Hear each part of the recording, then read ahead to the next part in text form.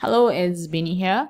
Um, let's take a look into Bitcoin today. If you have TAW V3, right, including the trial version, because I have this trial version with me right now, um, you would have seen this red color arrow here being plotted. So this is a bearish signal from TAW V3 that shows wash and rinse. All right. So let's revise a little bit about what's wash and rinse, and that's W here, and this is R.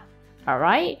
And of course, then um, I mean, for us, for the alien uh, wash uh, strategy, we'll be shorting somewhere around midpoint around here.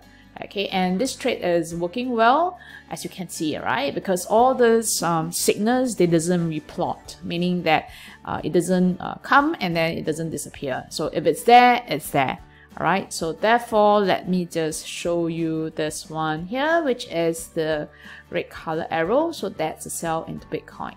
Alright, so Bitcoin right now is moving well, at least, right, from the place that, you know, you might have entered.